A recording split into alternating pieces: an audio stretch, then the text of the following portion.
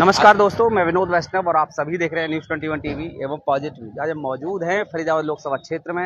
हर party प्रचार प्रसार अपने अपने तरीके से कर रही है। इसी संदर्भ में हम पहुँचे हैं बहुजन समाज पार्टी के प्रत्याशी हैं किशन ठाकुर। उनके सुपुत्र हैं उनके काम को देख रेख कर रहे हैं। सबसे बड़ी बात कि हर गाँव में जाकर जहाँ वो नहीं पहुँच पाते हैं वहाँ पहुँच करके एक एक व्यक्ति से सीधा जुड़ने का काम करते हैं। खास करके इनकी क्या रणनीति है चुनाव की हम इनसे जान लेते हैं। किस तरीके से प्रचार प्रसार में जुड़े हुए हैं सबसे पहले तो मैं आप सभी को और आपके दर्शकों को नमस्कार करता हूँ और आपका बहुत बहुत धन्यवाद करता हूँ, क्योंकि देश की राजनीति में मीडिया का भी बहुत बड़ा रोल है।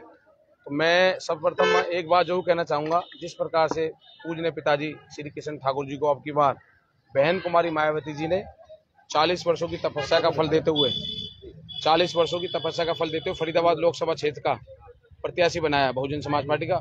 बहन जी का बहुत बहुत धन्यवाद और बहुजन समाज पार्टी के समस्त कार्यकर्ताओं का, केंद्रीय शीर्ष नेत्रों को बहुत बहुत धन्यवाद करते हैं। और रणनीति की बात यह है, विनोद जी, पिताजी 40 वर्ष से समाज में सेवा कर रहे हैं और पिताजी के साथ हर वर्ग, हर जाति का संबंध रहा है, हर व्यक्ति का रहा है। पिताजी की कोई किसानों की बात हो तो हो, नौजवान की बात हो, मजदूर की बात हो, सभी की बात को हमेशा उठा रहे हैं। और रणनीति हमारी यह है कि हम अपनी तरफ़ से कोशिश करेंगे 24 लाख के करीब मतदाता है हमारे ज़िले फरीदाबाद में लोकसभा में। तो हम कोशिश कर रहे हैं घर घर जाने की हर कार्यकर्ता हर घर तक हर वोटर तक जाने की।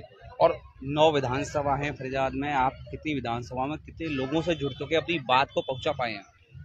फरीदाबाद लोकसभा में नौ विधानसभा हैं लगभग हमने सारी विधानसभाओं में दौरा कर चुके हैं।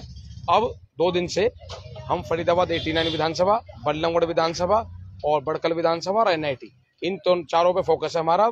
क्योंकि हमने ग्रामीण एरिया लगभग पूरा कर चुके हैं। लगभग तीस घंटे शेष बचे आपके चुनाव प्रचार रुकने में। जी।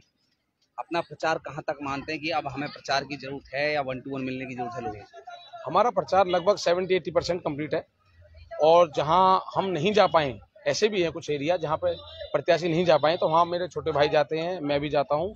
और हमारा पार्टी का वर्कर भी जा रहा है। आपको लोग वोट क्यों करें? बीएसपी को वोट क्यों करें लोग? बीएसपी को वोट इसलिए गए हैं क्योंकि कांग्रेस के दस साल देख चुके हैं अब बीजेपी के पिछले दस साल देख चुके हैं। लगातार 2004 से 14 तक कांग्रेस रही है और 14 से 24 बीजेपी की रही है। भारतीय जनता पार्टी और कांग्रेस ने सिवा लोगों को गुमराह किया और जनता को गुमराह करते हुए समाज में किसी प्रकार का धरातल पर कोई काम नहीं दिखाई दिया। आज फरीदाबाद में स्मार्ट सिटी के नाम पर बहुत बड़े बड़े घोटाले हुए आपने पीछे सुना होगा। कांग्रेस के लोगों ने भी उठाया था और मैं तो एक बात कहता हूँ अगर फरीदाबाद में विकास हुआ होता तो आज भारतीय जनता पार्टी की जो प्रत्याशी हैं कृष्ण पाल गुजर जी इन जो उनके खिलाफ व्यक्तिगत उनके और खिलाफ जो जनता में अलग से वो दिखाई दे रहा गुस्सा ये सबको जग ज़ाहिर है। तो विकल्प आप बनेंगे?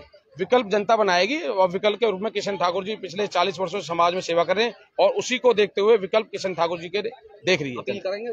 मैं फरीदाबाद लोकसभा क्षेत्र के सभी मतदाताओं से हाथ जोड़कर निवेदन और प्रार्थना करता हूँ, आपका भाई बेटा कुंवर विकास सिंह, कि मेरे पूजने पिताजी किशन ठाकुर जी को आने वाली 25 मई को ज़्यादा से ज़्यादा मतों से विजयी बनाए और हाथी के सामने वाला बटन दबाकर फरीदाबाद से सांसद बनाकर देश में, देश की सबसे बड़ी पंचायत में भेजने का काम करें। खासतौर से नौजवान भाइयों से मेरी अपील, जो पहली बार मतदान करें वो ज़रूर मतदान करें, अपना मत का अधिकार है आपका और मतदान करके ही आप फरीदाबाद और देश के समाज में अपने समाज को उठा सकते हैं और मजबूती से विकास करा सकते हैं।